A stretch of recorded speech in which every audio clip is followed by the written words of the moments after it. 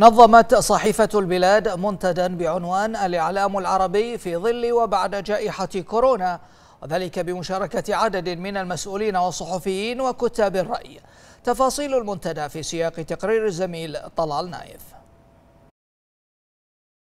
نظمت صحيفة البلاد البحرينية منتدى بعنوان الإعلام العربي في ظل وبعد جائحة كورونا بمشاركة أكثر من أربعين مسؤولا وقامة إعلامية عربية من أبرزهم سعادة وزير شؤون الإعلام علي بن محمد الرميحي ووزير الدولة للإعلام بجمهورية مصر العربية الشقيقة أسامة هيكل.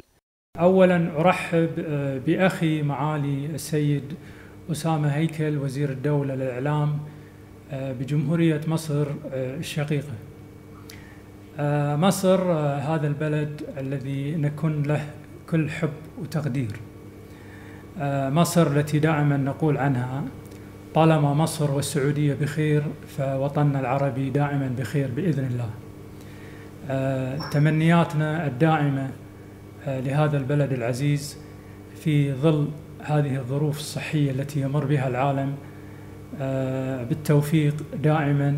اليوم آه، كنا نتحدث قبل خمس سنوات عن عدد كبير من الفضائيات. تجاوز عددها الألف ومائتين قناة فضائية تتحدث العربية.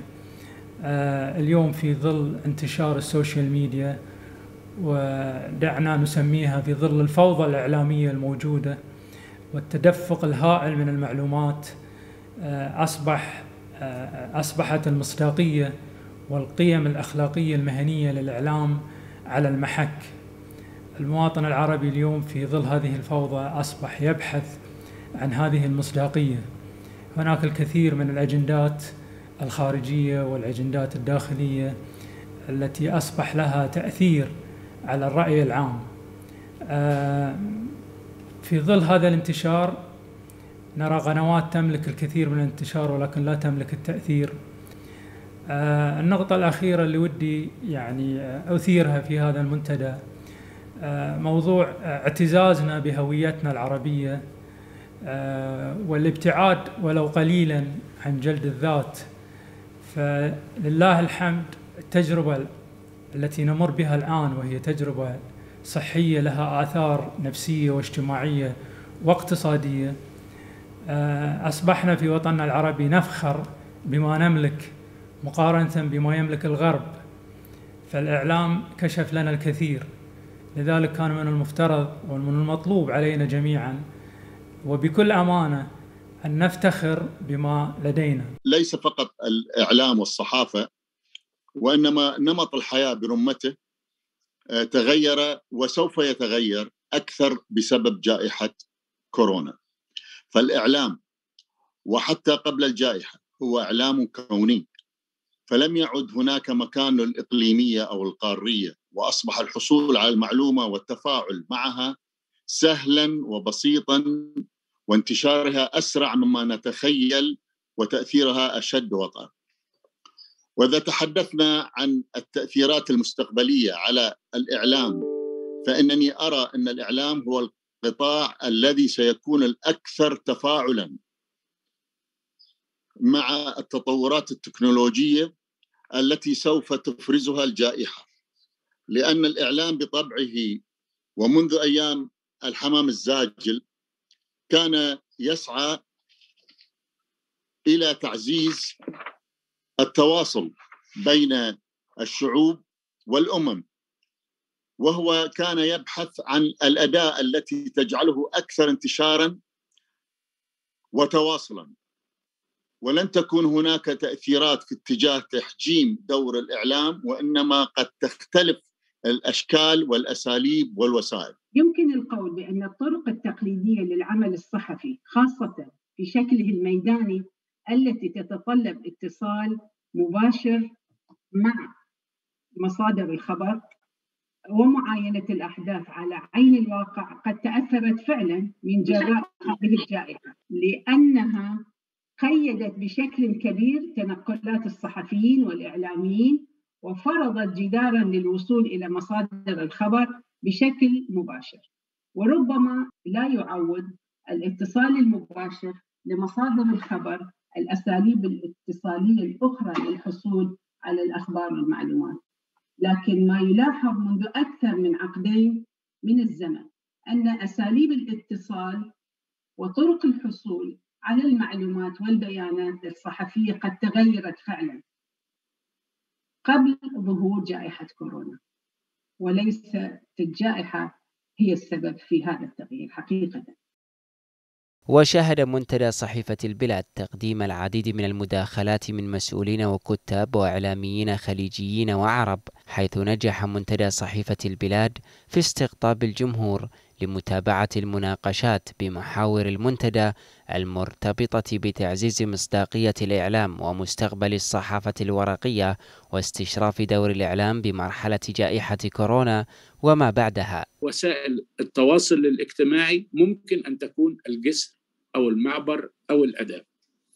هذا يبدو وكأنه مؤقت، لكن أنا بخلص إلى نتيجة أنه المؤقت أو الوسيلة دي لها ثلاث علامات أساسية. أنها ستصبح المؤقت الأبدي بمعنى أنه our lifestyle ستتغير تماما من بعد الكورونا. وهنا عندي دلائل في هذا الموضوع. نمرة اثنين أن وسائل التواصل الاجتماعي بالشكل الذي أصبحت هي الأساسية فيه في الآونة الأخيرة منذ الجائحة حتى الآن لها ما لها وعليها ما عليها. يعني أظهرت إيجابيات وأظهرت سلبيات. علينا إن إحنا نفهم بالضبط ما هو العالم الجديد من بعد جائحة الكورونا نفهم دور وسائل التواصل الاجتماعي نفهم ما هي الآثار المترتبة على هذا الموضوع ونعرف كيف نلحق بعالم متغير. لا يجب إن إحنا آه، نتمسك بحالة من الجمود الفكري أو نقول أن ما حدث كان مؤقتا ثم business as usual يعود مرة أخرى.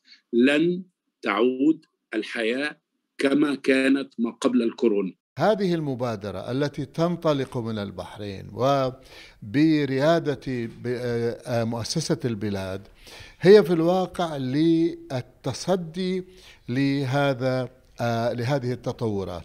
التطورات بدأت من قبل الجائحة مع زحف التكنولوجيا تكنولوجيا المعلومات والإنترنت والآن جاءت وسائل التواصل الاجتماعي سببت تحد كبير لوسائل الإعلام وضرورة الارتقاء بمستوى أدائها وأداء القائمين عليها. التحديات اليوم ليست في الإعلام هي التحديات موجودة على كل القطاعات ولكن عندما نتكلم عن الإعلام استغل الفضاء الإلكتروني استغل المنصات الإلكترونية وانتشر. أنا أعتقد اليوم الإعلام خاصة في مملكة البحرين لعب دور كبير في نقل الحقائق عن موضوع الجائحة وكان يعني هو المصدر الموثوق من قبل القراء والمتابعين.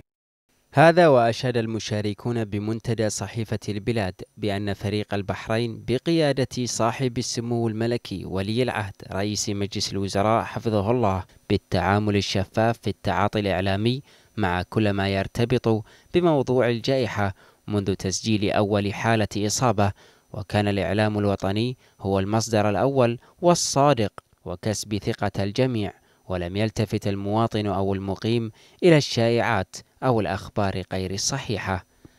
منتدى صحيفة البلاد الذي شارك به أكثر من أربعين قامة عربية جاء هذا اليوم ليؤكد على أهمية الإعلام في ظل وبعد الجائحة والدور التي تطلع به مختلف وسائل الإعلام في الأوقات العصيبة التي تمر بها المجتمعات. طلال نايف لمركز الأخبار تلفزيون البحرين.